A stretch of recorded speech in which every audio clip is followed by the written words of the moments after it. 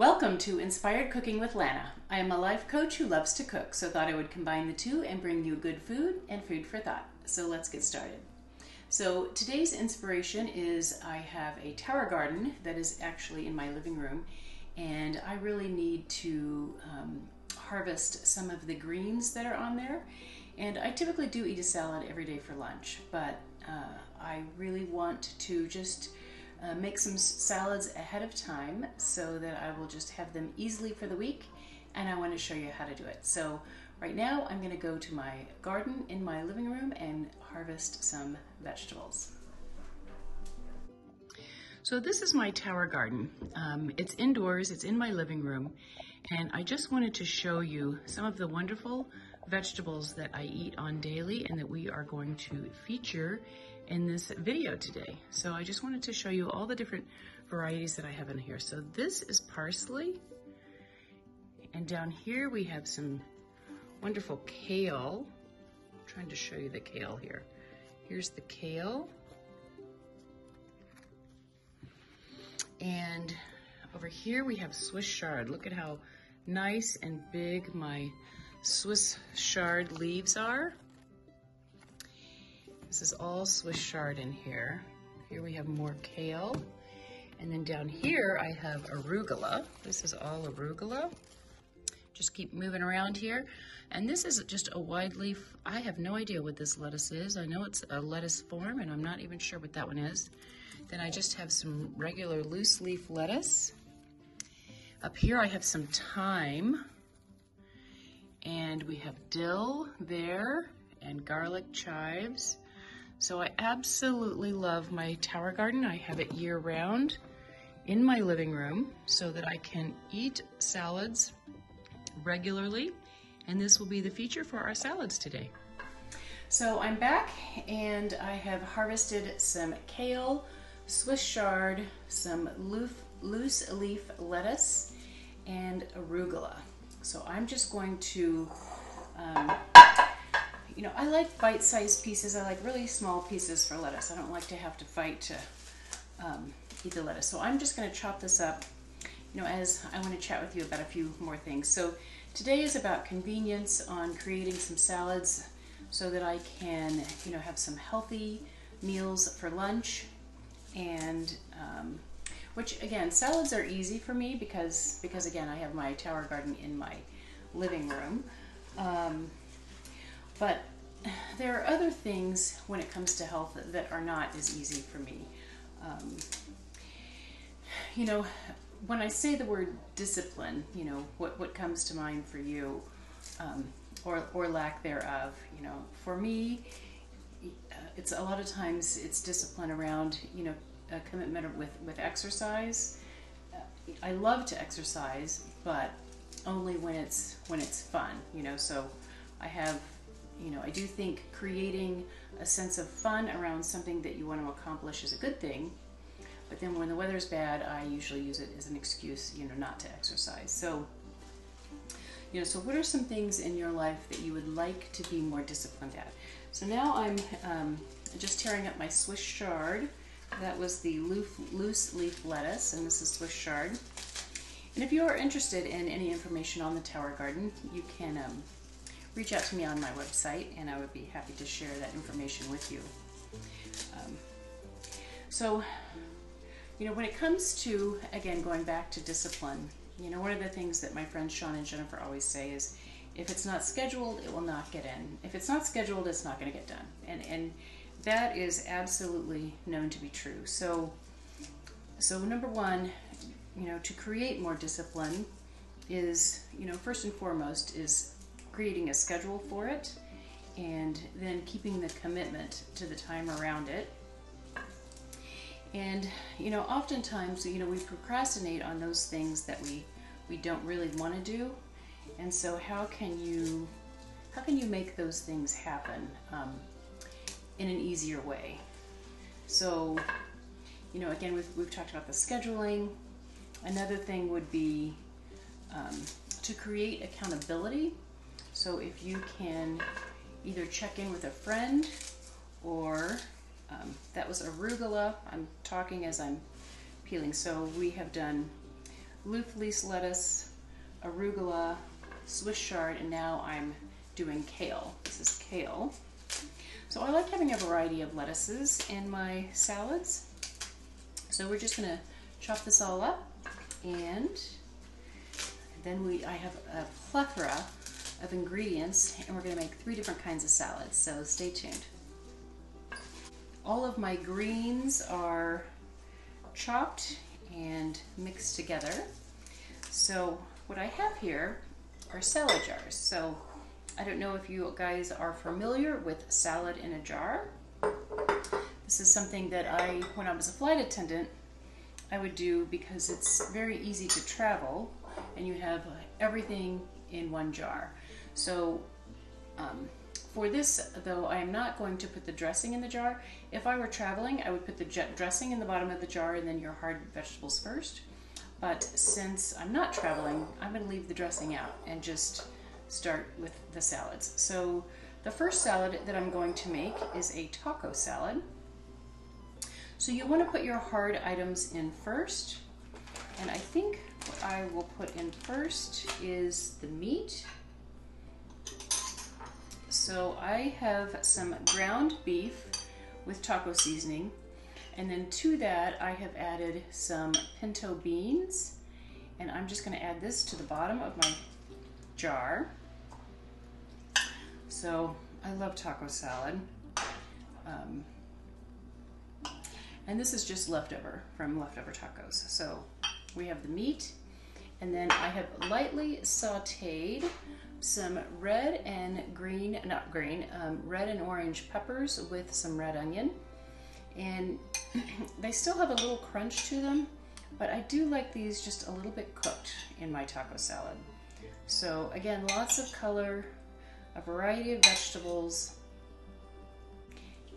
and then we're going to top that with some cheddar cheese.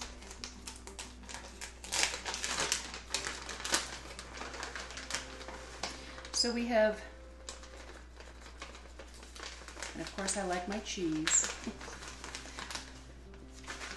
so here we have ground taco meat, pinto beans, red and yellow pepper, and red onion. And then we're just gonna fill this with the greens. And you can just really pack in the greens. And here we have the Mexican taco salad. And now I'm just gonna put the lid on it. And what the dressing is going to be, so salad one. And the dressing for this is going to be equal parts sour cream and salsa.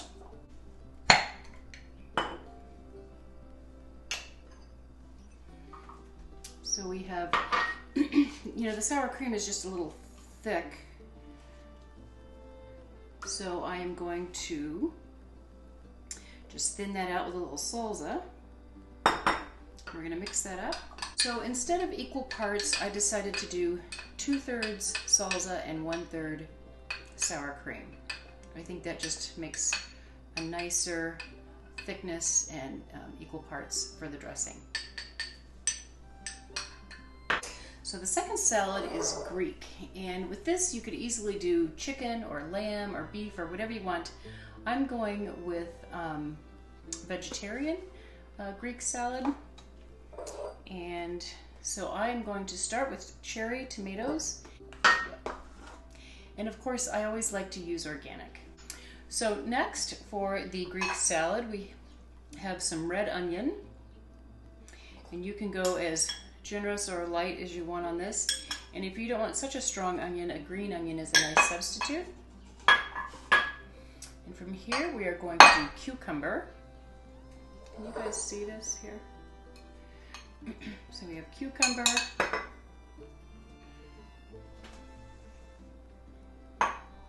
And then with most Greek salads, we have to have Greek Kalamata olives. So I'm going to put those in. And I really like pepperoncini peppers. So these are Greek pepperoncini peppers. We're going to put those in.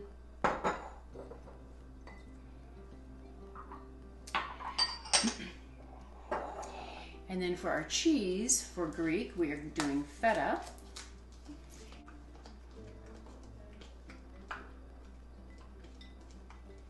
Some of it's wanting to jump out of the jar. There we go. And now we're going to fill it with our greens.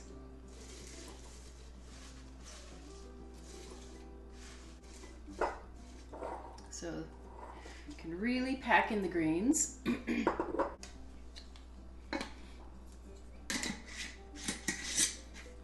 and here is our second salad, a Greek salad.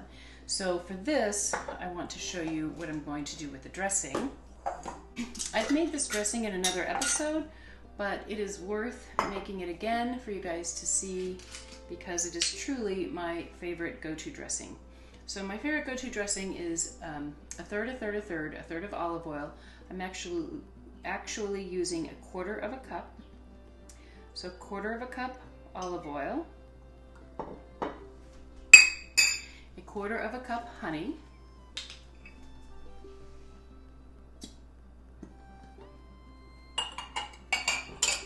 and a quarter of a cup rice wine vinegar.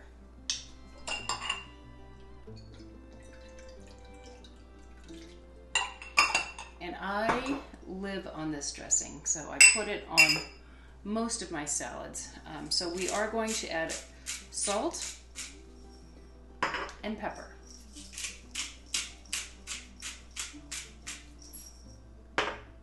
And then you just shake it up and this is my dressing for the Greek salad. And now we are going to move on to our Cobb salad. So again, I'm making this without meat. I'm just feeling like um, eating more vegetables and I usually eat meat at night. And so I have decided to make my last two salads without meat. But for the Cobb salad, you could certainly add ham or bacon or chicken. Um, you know, often a Cobb salad does come with meat. But what I'm going to do is I'm just going to add two boiled eggs and I'm just going to put them in a hole because I can cut them up once I turn this upside down for my salad. So we're just adding two boiled eggs and of course um, some whole tomatoes. You always want to put your hard items in first. So we have whole tomatoes. I am going to do cucumber and red onion with this one as well.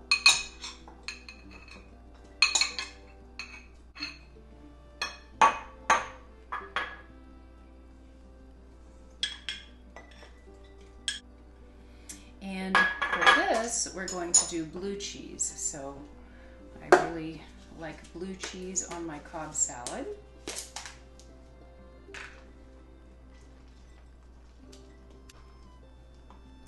And fill it with lettuce. How simple is that?